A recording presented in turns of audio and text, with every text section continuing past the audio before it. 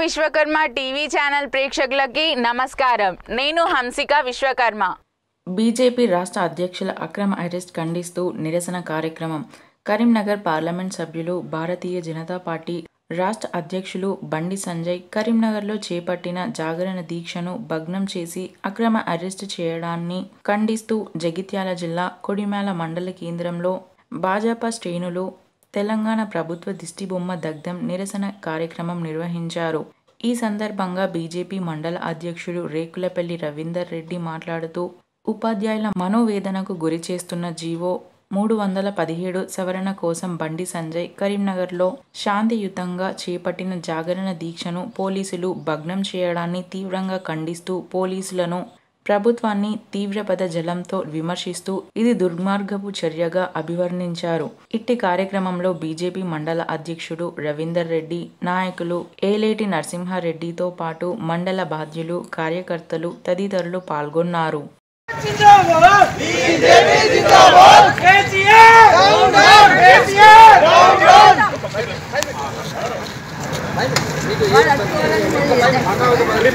Police కులం జిందాబాద్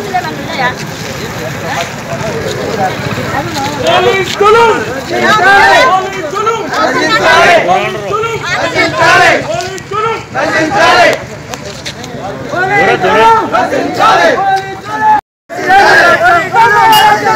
కులం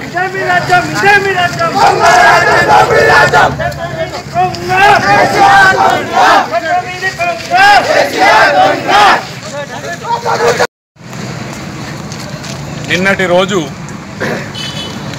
Karimnagar parliament సభ్యులు భారతీయ జనతా పార్టీ రాష్ట్ర అధ్యక్షులు అధ్యక్షులు శ్రీ బండి సంజయ్ గారు శాంతియుతంగా జాగరణ దీక్షకు పిలుపునిస్తే తెలంగాణ ప్రభుత్వం పోలీసులు వారి దుర్మార్గమైన చర్యతో కార్యకర్తలను ఉద్యోగస్తులపైన లాఠీచార్జి చేసి మరియు ఎంపీ కార్యాలయాన్ని గ్యాస్ కట్టర్తో కట్ చేసి వారిని లాఠీతో కొట్టి అరెస్ట్ చేసినందుకు నిరసనగా ఈరోజు మేము కొడిమేల మండల కేంద్రంలో ప్రభుత్వ దిష్టిబొమ్మ దానం చేస్తున్నాం.